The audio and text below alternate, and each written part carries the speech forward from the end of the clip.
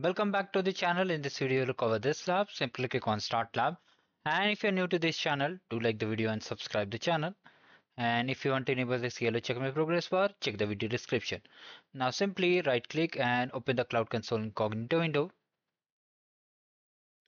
Just click on I understand and if you get another pop-up, just click on this I agree and then agree and continue. Now do the first thing, just click on this to activate the Cloud Shell.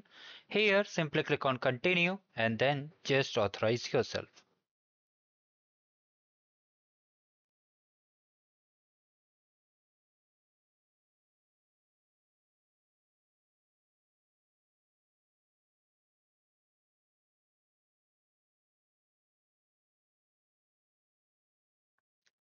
Now let me increase the text size. Now come to the lab instruction directly and come to the task number two. First of all, copy this command.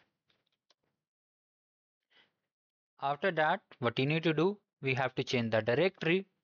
Okay, from the main directory to the sample code directory. Just wait a second, just run it like this and then just deploy the code. So here if you run the deploy option, here it may ask for the region. So here they have mentioned US Central World. For you, it might be different. Okay, it might be different, sorry.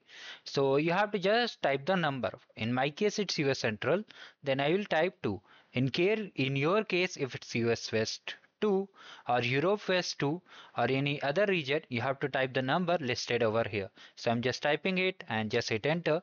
Now, when we'll come over here and simply check the score.